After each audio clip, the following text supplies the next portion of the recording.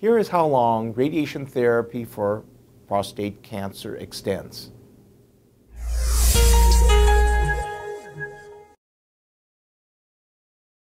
The length of time that it takes to undergo radiation therapy will depend on several features.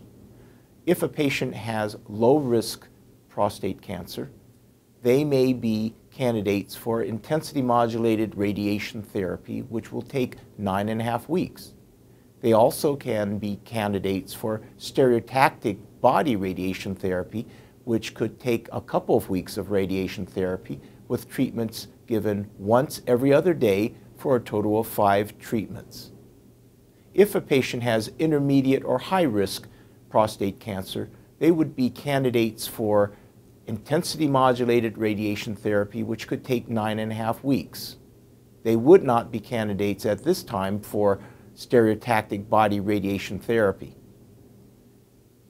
In a select group of patients, brachytherapy may be an option for treatment.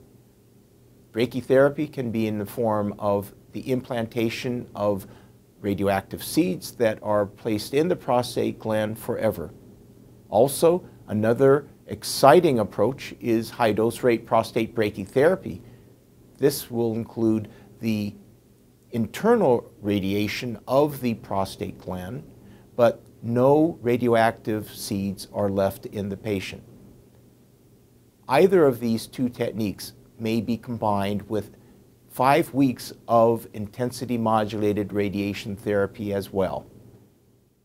Some prostate cancers are high risk, aggressive, and more likely to spread. Others are low risk, least likely to have bad outcomes. The biopsy says cancer, but current diagnostic tools provide limited information about how aggressive a man's individual disease is. So, most men decide to treat prostate cancer immediately. Once treated, many men experience serious long term side effects, like incontinence and sexual impotence.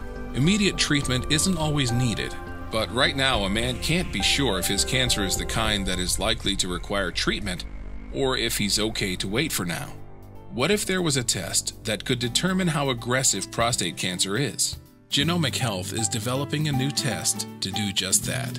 By reviewing the underlying biology of the tumor and using genes from multiple biologic pathways, the test can predict the aggressiveness of prostate cancer when diagnosed, allowing a man to make a more informed treatment decision with confidence, taking care of himself with more information and greater peace of mind.